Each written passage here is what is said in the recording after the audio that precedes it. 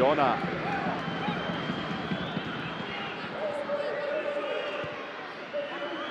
Ivanić vrlo lepo. Pešić, evo šanse, evo i gola, 1-1, ali podignuta zastavica. Kata je postigao gol. E, ovde baš blizu.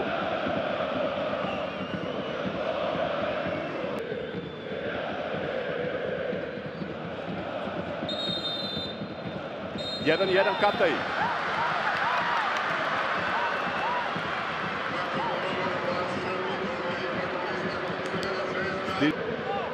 Šta se sve izdešavalo za nekih 7 minuta na stadionu Rajko Mitić, šansa Ivanića, gol Vidakova, stativa Saše Markovića i sada pogodak Aleksandra Kataja. 16. minut,